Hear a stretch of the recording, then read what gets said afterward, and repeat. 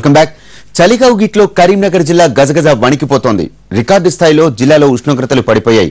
బారుడు పొద్దెంకేంత వరకు జిల్లా వాసులు ఇళ్ళను విడిచి బయటికి రాలేకపోతున్నారు. జిల్లాలో చలి తీవ్రతకు సంబంధించిన మరింత సమాచారం మా ప్రతినిధి ప్రవీణ్ అందిస్తారు. కొన్ని రోజులుగా కరీంనగర్ జిల్లాలో ఉష్ణోగ్రతలు దారుణంగా పడిపోయాయి. అత్యల్పంగా ఉష్ణోగ్రతలు జిల్లాలో నమోదవుతున్నాయి. జిల్లా వ్యాప్తంగా ఇదే రకమైన పరిస్థితి మనకు కనిపిస్తుంది. ఉదయం పూట లేచి పనికి వెళ్ళాలంటేనే జనాలు చాలా ఇబ్బందులు పడిపోవాల్సిన పరిస్థితి మనకు కనిపిస్తోంది. మరోవైపు రైతులు ఉద్యోగులు విద్యార్థుల యొక్క పరిస్థితి చెప్పనలు కాని విధంగా ఉంది. అత్యల్పంగా జిల్లాలో గత నాలుగు రోజుల నుండి ఏడు డిగ్రీల వరకు ఉష్ణోగ్రతలు పడిపోవడం జరుగుతుంది.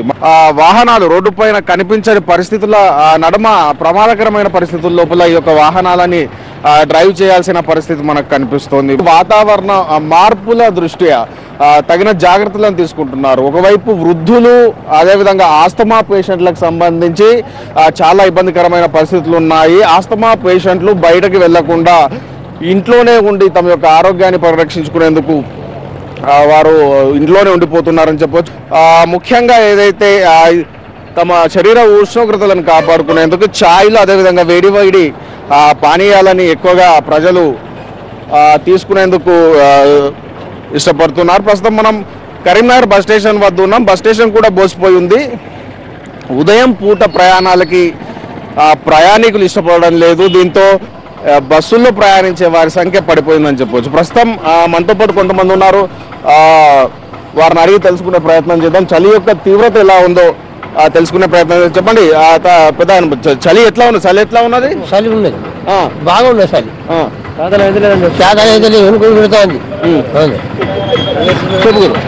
చలి బాగా వస్తుంది. చెప్పురా? చలి? మీ కరీంనగర్ డిస్ట్రిక్ట్లో మాత్రం హైదరాబాద్ కంటే కానీ చాలా ఎక్కువ ఉంది ఈడ చలి.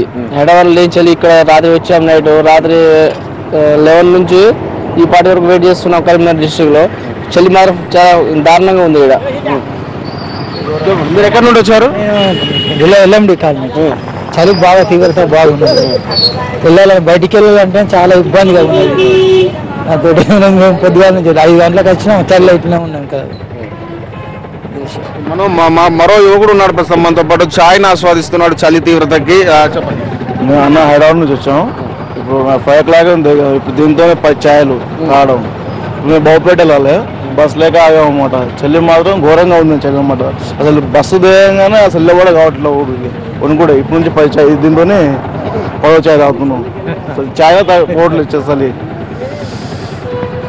సో మొత్తం మీద ఎవరిని అడిగినా కానీ చలి గజగజ అనిపించడంతో వారి యొక్క బాధని వారు వ్యక్తం చేస్తున్నారు. మరోవైపు ఆ టీలను ఆస్వాదిస్తూ ఈ చలి నుండి కాపాడుకునేందుకు తమ యొక్క ప్రయత్నాలు చేస్తున్నారు. పల్లెల్లో మాత్రం మధ్యాహ్నం వరకు కూడా మనకి చలి మంటలోనే కాస్తున్న పరిస్థితులు ప్రస్తుతం మనకు కనిపిస్తున్నాయి. ఈ నేపథ్యం లోపల తీసుకుంటే జిల్లాలో ఆస్తమా పేషెంట్ల సంఖ్య పెరిగిపోతుందని చెప్పవచ్చు. గతంలో ఎన్నడూ లేని విధంగా రికార్డు స్థాయిలో ఏడు డిగ్రీల వరకు జిల్లాలో టెంపరేచర్లు పడిపోవడం పట్ల ప్ర- జిల్లా ప్రజల్లో ఆందోళన వ్యక్తమవుతుంది. ఇది కరీంనగర్ జిల్లాలో చలి యొక్క తీవ్రత యొక్క పరిస్థితి. విత్ కెమెరామెన్ కవితో ప్రవీణ్ ఫర్ ఎన్టీవీ కరీంనగర్.